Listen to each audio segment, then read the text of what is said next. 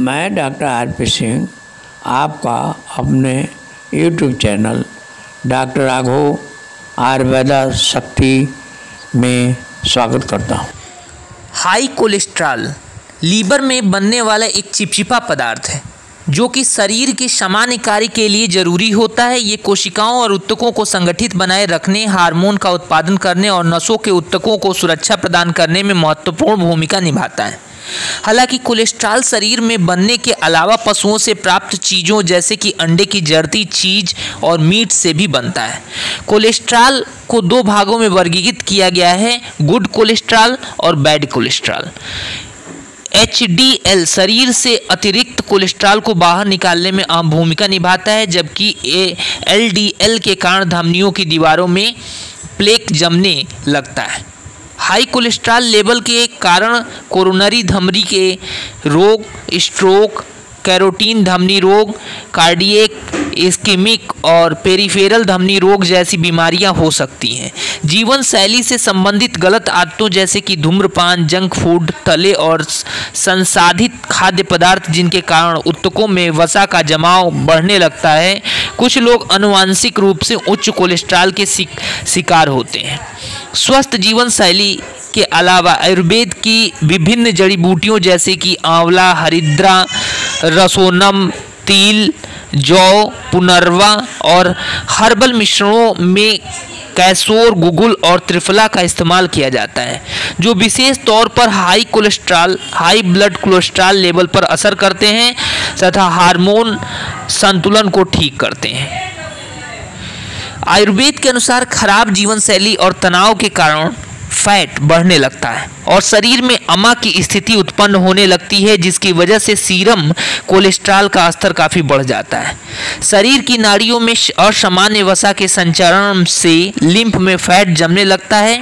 परिणाम स्वरूप दोष और धातु भी खराब होने लगते हैं, जिससे कोलेस्ट्रॉल बढ़ जाता है। चयापचय की धीमी गति होने का संबंध कफ दोष से होता है एवं इसे भी हाई कोलेस्ट्रॉल का कारक माना जाता है। इसके बाद हाई कोलेस्ट्रॉल धमनी प्रतीक्षा, यानी धमनियों का मोटा होना की समस्या पैदा होने लगती है और फिर से कई रोगों के कारण बनते हैं। आयुर्वेद में कोलेस्ट्रॉल के इलाज के लिए अग्नि, यानी पाचन अग्नि को बढ़ाने और पंचकर्म थेरेपी एवं विशेष हर्बल औषधियों से शरीर की नाड़ियों को साफ़ किया जाता है। आयुर्वेदिक इलाज में पहला है विरेचन कर्म। ये एक शुद्धिकरण चिकित्सा है जिसमें जड़ी बूटियों या औषधीय काढ़े के प्रयोग से विषाक्त पदार्थों एवं खराब पित्त दोष को शरीर से बाहर निकाला जाता है। विरेचन से पहले व्यक्ति को फैटी पदार्थों, गुल्म, पुट्टी, ठोस खाद्य पदार्थ या मीट का सूप दिया जाता है। इसके अगले दिन मल के ज़रिए आंतों से अमा को बाहर निकाला जाता है। इस चिकित्सा में शरीर की सभी नाड़ियों से दूषित दोष को मल के ज़रिए बाहर निकाला जाता है। इस प्रकार वात, पित्त और कफ दोष के खराब होने के लक्षणों में कमी आती है। इससे कोलेस्ट्रॉल ट्राइग्लिसराइड में गिरावट आती है और एचडीएल बढ़ता है। पाचन बेहतर होता है और बीमारी के लक्षणों से राहत मिलती है, जिससे शरीर में हल्कापन महसूस होता है, शरीर को मजबूती मिलती है। अगला है बस्ती कर्म बस्ती कर्म में एनीमा के रूप में औषधीय तेल या काढ़ा दिया जाता है। इससे पहले हल्के हाथों से मालिश और सिकाई की जाती है। बस्ती कोलेन के कार्य को ठीक और अंगों एवं उत्तकों में के पुनर्निर्माण में मदद करती है। ये चिकित्सा वात रोगों के साथ साथ हाई कोलेस्ट्रॉल के इलाज में भी असरकारी है। इससे सीरम कोलेस्ट्रॉल लेवल में उचित गिरावट आती है। हाई कोलेस्ट्रॉल के इलाज में विशेष तौर पर कला बस्ती का इस्तेमाल किया जाता है। इस चिकित्सा में एक व्यक्ति को कुल 16 एनीमा दिए जाते हैं, जिसमें से 6 एनीमा काढ़े और बाकी के 10 एनीमा तेल से बने होते हैं। हाई कोलेस्ट्रॉल की आयुर्वेदिक दवा जड़ी बूटियों में पहला है अमलकी अमलकी में विटामिन सी प्रचुर मात्रा में होता है और ये एंटीऑक्सीडेंट गुणों के लिए प्रसिद्ध है। प्रमुख तौर पर आंवले का इस्तेमाल परिसंचरण, पाचक और उत्सर्जन प्रणालियों से संबंधित रोगों के इलाज के लिए किया जाता है। ये संकुचन ब्लीडिंग रोकने, चे, रेचक और पोषक शक्तिवर्धक के रूप में कार्य करता है। अमल की शरीर में पित्त को ठीक एवं संतुलित करता है। ये सीरम, कोलेस्ट्रॉल और लीवर एवं बड़ी धमनियों में कोलेस्ट्रॉल को घटाता है। अगला है हरिद्रा, यानी हल्दी। हल्दी में बैक्टीरियल रोधी गुण होते हैं। खून साफ़ करने, शक्तिवर्धक और पेट के कीड़ों को नष्ट करने के लिए इसका इस्तेमाल किया जाता है। कई हर्बल मिश्रणों में प्रमुख सामग्री के तौर पर इसका इस्तेमाल किया जाता है। हरिद्रा में विभिन्न सक्रिय अवयव मौजूद होते हैं, जो कि शरीर से अत्यधिक कोलेस्ट्रॉल लेवल को घटाने में मदद करते हैं। ये हृदय रोगों बवासीर गले में खराश और पाचन विकारों के इलाज में लाभकारी है। अगला है रसोनम।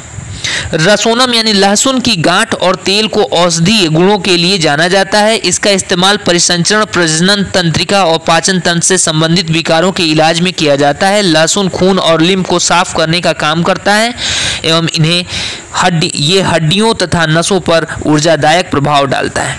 ये ब्लड कोलेस्ट्रॉल को खत्म करता है और धमनियों में प्लेक के जमने को खत्म करने में भी मदद करता है। यह वजह, इस वजह से लहसुन हाई कोलेस्ट्रॉल आर्टेरियोस्क्लेरोसिस यानी धमनियों की दीवारों का कठोर या सख्त होना और हाइपरटेंशन के इलाज में असरकारी होता है। रोज लहसुन की दो से तीन कलियाँ खाने से हाई कोलेस्ट्रॉल से ग्रस्त व्यक्ति को लाभ होता है। अगला है तिल।